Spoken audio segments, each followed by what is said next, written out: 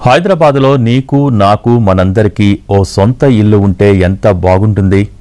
మనకు ఓ ఇల్లు ఉంది. అదే అందరి ఇల్లు. ఈ ఇంటికి ఎవరైనా రావచ్చు తినొచ్చు. మీ పనులు చూసుకుని వెళ్ళొచ్చు. ఎక్కడ అనుకుంటున్నారా? అయితే ఈ స్టోరీ చూడండి.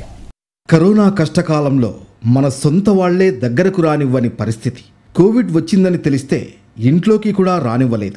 కానీ ఆ ఇంట్లోకి ఎవరైనా ఎప్పుడైనా రావచ్చు. స్వయంగా ఆహారం వండుకొని తిని వెళ్ళొచ్చు. అచ్చం మీ ఇంట్లో ఎలా ఉంటుందో అక్కడ కూడా అలానే ఉండొచ్చు. ఇంట్లో నుంచి పారిపోయిన వారు వృద్ధులు పిల్లలు వదిలేసిన తల్లిదండ్రులు ఇలా ఎవరైనా రావచ్చు తినొచ్చు వెళ్ళొచ్చు. ఆకలితో అలమటించే వారికి ఆ ఇంటి తలుపులు తెరిచే ఉంటాయి. నగరానికి ఏదైనా పని మీద వచ్చేవారికి హాస్పిటల్కు వచ్చేవారికి ఇక్కడ ఎప్పుడూ భోజనం దొరుకుతుంది. అందుకే ఈ ఇంటిని అందరి ఇల్లు అంటారు.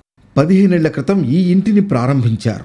అందరికీ ఆహారం అందరికీ శ్వాస అన్న కాన్సెప్ట్తో ఈ ఇంటిని స్థాపించారు. ఉదయం ఐదు గంటల నుంచి రాత్రి ఒంటి గంట వరకు ఎవరైనా ఈ ఇంట్లోకి రావచ్చు. ఎవరి అనుమతి అవసరం లేదు. వండుకుని తినేందుకు బియ్యం కూరగాయలు ఎప్పుడూ సిద్ధంగా ఉంటాయి. రెండు వేల ఏడులో డాక్టర్ ప్రకాష్ డాక్టర్ కామేశ్వరి ఈ ఇంటిని ప్రారంభించారు. ఆకలి కడుపులకు అభయమిచ్చేలా తినేందుకు కనీసం డబ్బులు లేని వారి కోసం ఇక్కడ అన్ని ఏర్పాట్లు చేశారు. ఇక్కడ ఎప్పుడూ బియ్యం నిండుకోలేదు. అలా అని ఎవరినీ సహాయం అడగరు.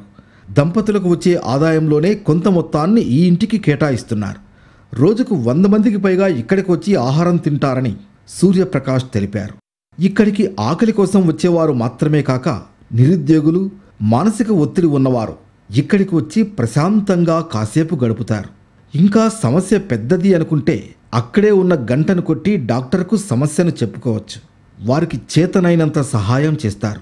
ఇక్కడికి ఎంతోమంది నిరుద్యోగులు వస్తూ ఉంటారు.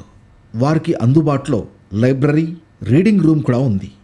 ఎవరి దగ్గర ఏమీ ఆశించకుండా వాళ్ళకు వచ్చే ఆదాయంలో కొంత భాగాన్ని ఇలా సమాజ సేవకు ఖర్చు చేయడం గొప్ప విషయం.